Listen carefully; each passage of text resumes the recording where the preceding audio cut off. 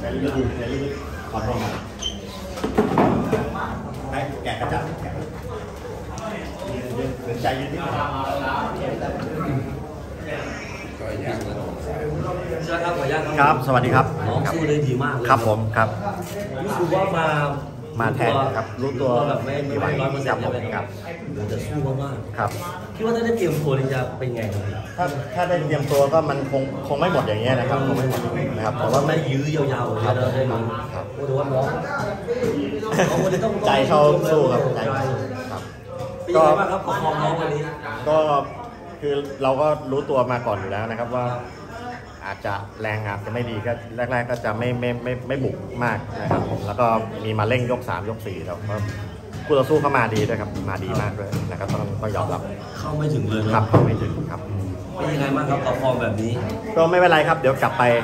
อ่าปรับปรุงกันอีกนิดนึงนะครับ แล้วก็เรื่องเรื่องซ้อมนะครับครับส่วนใหญ่ก็คือมันยังไม่ครบโปรแกรมนะครับไม่ยอมรับความพ่ายแพ้ครับสุดท้ายพี่จะฝากอะไรถึงแฟนคลับ FC ที่ให้กำลังใจครับผมครับผมก็ขอโทษด้วยนะครับ ที่วันนี้เพชรน้ำหนึ่ง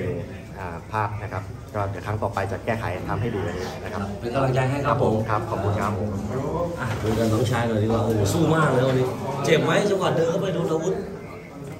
ช็อตครับแต่เขาเดินไม่หยุดเลยทำไมอะ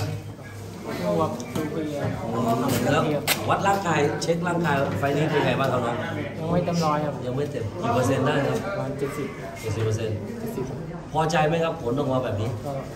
ไม่พอใจครับไม่พอใจเนาะร่างกายอะก็ถือว่าดีขึ้นระดับหนึ่งแล้วถ้าจะบอกไม่พอใจก็แหมไม่แฟร์ต้องบอกว่าพอใจระดับหนึงร่างกายก็ถือว่าโอเคนะพี่มองว่าร่างกายเราโอเคเลยแล้วก็หัวใจวันนี้ที่ผ่านไปแล้วไม่ต้องวัดอะไรอีกแล้วครับอะมีอะไรจะพูดกับแฟนมวยครับน้องก็ขอโทษทุกกำลังใจครับก็ไปหน้าบ้านใหม่ครับ